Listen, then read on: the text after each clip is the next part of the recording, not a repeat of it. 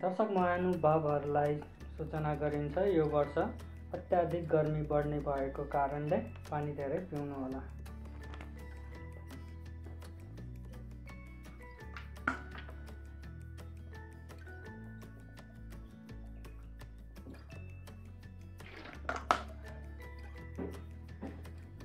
यो पत्रिकामा लेखेको थिएन म आफैले भने हो। पत्रिकामा यो छ गर्मी एकदम बढ्दैछ त्यसो भएर पानी चाहिँ मजाले पिउनु होला है। अनि पानी खाएन भने डिहाइड्रेसन अनि के के के के हुन्छ नि मलाई त्यो पनि थाहा छैन। पानी चाहिँ खानु होला भन्नु खोजे हो।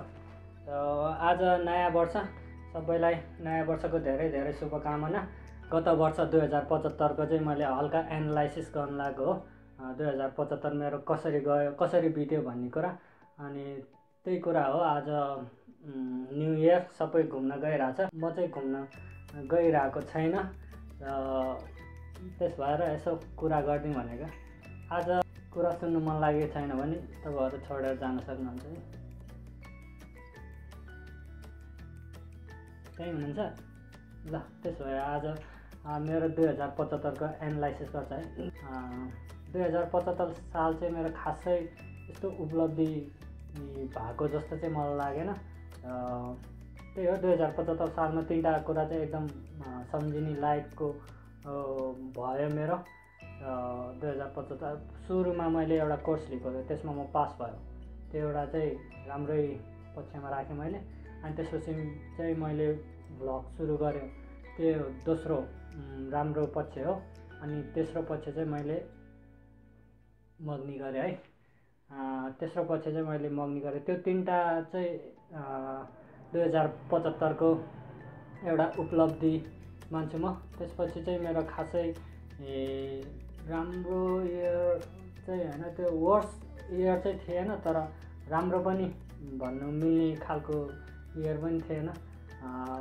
म चाहिँ लगभग यो पचहत्तर सालमा लगभग दस महिना चाहिँ होइन मेरो हल्का स्वास्थ्य स्थिति खासै त्यस्तो राम्रो भएन दुई हजार पचहत्तर चाहिँ मैले रेटिङ दिनु पर्दाखेरि फाइभमा टू दिन्छ है।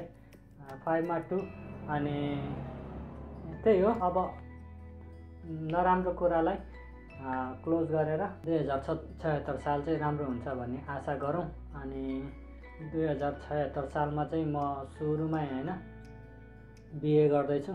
सिङ्गल भएको पनि सत्ताइस वर्ष भयो। अब चाहिँ बे गर्नुपर्छ भन्ने पोइन्ट आयो कि जस्तो लाग्यो त्यस भएर म बे गर्दैछु। जोसँग बे गर्दैछु त्यो मलाई मनपर्ने मान्छे हो। त्यो एउटा पनि खुसीको कुरा हो। नयाँ वर्षमा नयाँ सुरुवात अनि आफूले मन पराएको केटी छयत्तर साल चाहिँ राम्रो हुन्छ नराम्रो हुन्छ। थाहा छैन तर आशा गरौँ राम्रो हुन्छ कि भन्ने। छयत्तर सालको चाहिँ तपाईँहरूलाई सबैलाई धेरै धेरै शुभकामना। तपाईँहरूको लाइफ चाहिँ अझ बेटर होस् अनि तपाईँको परिवारको पनि अझ बेटर होस्। त्यही शुभकामनाको साथमा अब चाहिँ मेरो भ्लग चाहिँ अलिक कन्सिस्ट भएको छैन। आजकल हल्का यो हल्का बिहेको यताउता भएको भएर पनि हुनसक्छ। अब दुई हजार छ छयत्तरमा चाहिँ म एकदम कन्सिस्ट गर्छु गर्छु त भन्दिनँ तर कोसिस गर्छु। अनि हल्का फुल्का टुटोरियल पनि बनाउने कोसिस गर्छु।